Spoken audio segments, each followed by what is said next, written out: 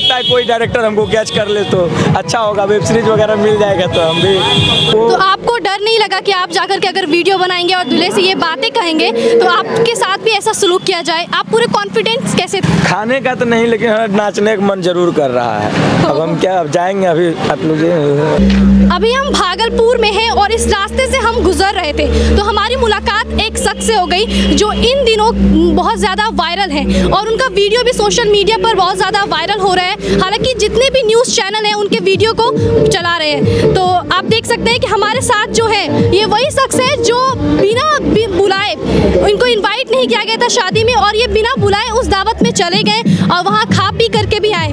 तो आपको कै- आप कैसे वहाँ पे चले गए? ये सबसे पहले मतलब कि शादी हो रही थी। तो शादी हो रही थी तो दोस्त लोग का एक ग्रुप होता है कि चलो, भाई आज यहाँ फलना जगह पे जो है शादी है। तो चूँकि हम लोग हॉस्टल में रहते हैं बहुत लोग करते हैं ऐसा। तो बहुतों को नहीं पता होता है कि कहाँ शादी हो रहा है कहाँ हो रहा है क्या हो रहा है। तो शादी में बोला भाई चलो भोज उज खा करके आते हैं। बनाए उनाए थे नहीं रोटी बेलने का झंझट हो जाता है। तो बोले चलो भाई। तो चल गए। अब वहाँ जा करके जो है एकदम भरदम। वहाँ जाकर के पूरा भरदम खा लिए। हाँ एकदम खाए। आप हमेशा ऐसा ही करते हैं। देखिए हमेशा का बात नहीं जब लगन गौना का टाइम रहता है ना तब थोड़ा बहुत हो जाता है। दोस्ती है, दोस्ती में अपना दोस्त लोग गए, खा पी के चल आए अगर अभी कुछ दिन मतलब एक एमपी का मामला है, जहाँ पर कुछ स्टूडेंट्स वहाँ पर गए थे और उनसे वहाँ पर मतलब पकड़ लिया गया था और उनसे बर्तन भी धुलवाया गया था। अगर आपके साथ यहाँ पर होता तो? देखिए, सबसे पहला बात है कि ये जो बर्तन धुलवाने वाला था, जो वीडियो हम भी देखे, कहीं से मतलब आया था तो ऐसा नहीं होना चाहिए। कहीं हो, चाहे बिहार हो, झारखंड हो, यूपी हो, मध्य प्रदेश हो, आंध्र प्रदेश हो, कहीं पर भी ऐसी घटना हो रही है तो वहाँ पे नहीं होना चाहिए ऐसा। चाहे बिहार में भी हो, चाहे यूपी में ही हो, इस घटना का मैं निंदा करता हूँ। और देखिए, सबसे पहला बात तो अपना बिहार का। जो बिहार और यूपी का जो कल्चर है, तीस आदमी जैसे भोज में खाने गया तो नहीं भी कुछ तो सत्तर आदमी का एस्टिमेट लेकर के चलता है। अपने यूपी बिहार कोई भी आदमी भूखा ना लौटे हमरे द्वार पर से। मतलब कि कह सकते हैं कि अतिथि देवो भव वाला वो तो आपको डर नहीं लगा कि आप जाकर के अगर वीडियो बनाएँगे और दूल्हे से ये बातें कहेंगे तो आपके साथ भी ऐसा सलूक किया जाए? आप पूरे कॉन्फिडेंस कैसे थे?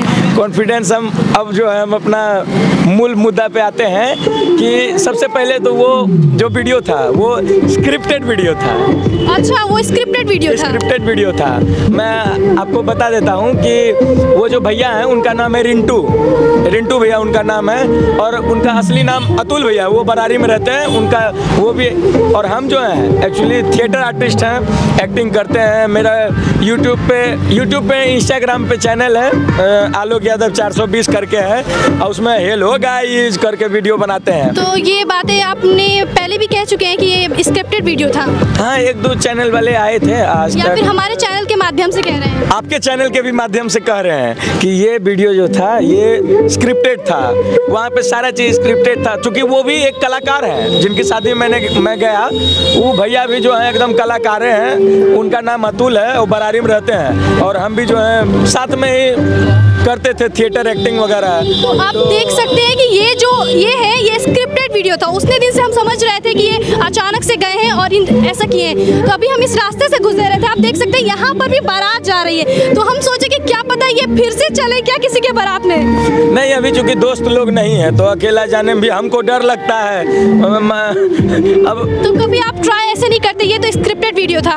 अगर कभी आपको ट्राई करना हुआ एक बार ट्राई कर सकते हैं जा करके करेंगे वैसा अगर कुछ प्रैंक उरैंक का कुछ वैसा सिस्टम हुआ तो अब करने में क्या जाता है? करिए लेंगे क्या वैसा ही नहीं बोल रहे हैं। तो आपको कैसा फील हो रहा है? आप तो बहुत ज़्यादा वायरल हो गए हैं। वायरल हो गए ऐसा अच्छा लगता है। दस गो आदमी लोग आते हैं भैया लोग भाई सेल्फी लेना है। अच्छा आप कभी आप कभी सोचे थे कि आप वायरल होंगे ये वीडियो बना करके? मतलब कुछ कुछ थोड़ा बहुत ऐसा लग रहा था क्योंकि कंटेंट एकदम हटके था कंटेंट और उसमें क्या था कि मेरे तीन चार वीडियो पहले भी थोड़ा बहुत वायरल हो चुका है तो इतना ज़्यादा एक्सपेक्टेशन नहीं था लेकिन बड़ा बड़ा चैनल वगैरह प्रमोट किया इंस्टाग्राम का और शुभांकर मिश्रा वगैरह लोग भी किए तो तो आगे आपका क्या प्लान है? आगे यही प्लानिंग है कि ऐसा ऐसा वीडियो जो है आते रहेगा पूरा। यानी कि जनता को बेवकूफ़ बनाते रहना है कि ये स्क्रिप्टेड नहीं है। नहीं बेवकूफ़ नहीं कह सकते हैं। एक तरह से क्या कह सकते हैं कि चलिए एक मिसाल के तौर पर देखा जा सकता है कि अगर ये स्क्रिप्टेड वीडियो भी है तो ऐसा होना चाहिए कि अगर आप कहीं पे भी जाते हैं तो मतलब उनको दे देना चाहिए खाने के लिए। ऐसा नहीं होना चाहिए कि आपको मतलब वहाँ से निकाल दिया जाए। देखिए सिंपल बात है कि कोई अगर खाना खाने आ रहा है तो खाने में क्या खाने दिक्कत पे रोक नहीं लगानी में किसी को भी नहीं रोकना चाहिए। चाहे कोई भी हो जानवर हो आदमी हो तो आदमी आदमी होता है जानवर जानवर। सबको खाने का पृथ्वी सबको अधिकार है। बिल्कुल बिल्कुल। यही है। और उतना तो प्लेट भोज में फेंका जाता है जितना आदमी लोग खाते नहीं है। सिंपल यही चीज़ है। और जो लोग भी हम ये कहना चाहेंगे आपके चैनल के माध्यम सिल्क टीवी के सिल्क टीवी भागलपुर के माध्यम से कि जो घटना मध्य प्रदेश में हुई उसमें क्या है कि ऐसा नहीं होना चाहिए और भगवान उस परिवार को सद्बुद्धि दे कि आगे से वो ऐसा ना करे कोई भी वैसा ना करे। तो यही बोलेंगे। आ, बिल्कुल हमारे साथ आपका नाम? अभी मेरा नाम आलोक राज है और मेरा इंस्टा आईडी भी एक तो है आलोक यादव 420 करके। देखिए ये हमारे चैनल के माध्यम से प्रचार इंस्टा आईडी का। और ये आलोक राज जी हमारे साथ थे हैं अभी आप बात किए थे कि यहाँ पे खाने का बात अभी डीजे बज रहा खाने का तो नहीं लेकिन हमें नाचने का मन ज़रूर कर रहा है। अब हम क्या अब जाएँगे अभी आप लोग चले सही है फिर। देख सकते हैं कि इनका ये भी कहना है कि जो मधेपुरा में जो मध्य प्रदेश। मध्य प्रदेश में जो घटना हुई थी ना कि वहाँ के कुछ स्टूडेंट्स वहाँ पे गए थे और उनसे बर्तन धुलवाया गया था। तो यहाँ पे ऐसा कुछ नहीं हुआ था। हालाँकि ये स्क्रिप्टेड वीडियो था लेकिन ऐसी ऐसा होना चाहिए कि मतलब दिल खुले रखने चाहिए। कलाकार वाला जो है वो दिखता है तो अच्छा लगता है। नेचुरल एक्टिंग थी उसमें। और नेचुरल एक्टिंग का भी का ही अभी दौर है कि हमको भी लगता है कोई डायरेक्टर हमको कैच कर ले तो अच्छा होगा। वेब सीरीज़ वगैरह मिल जाएगा तो हम भी आप लोग के चैनल के माध्यम से और क्या बोले? तो जय हिंद, जय बिहार, धन्यवाद।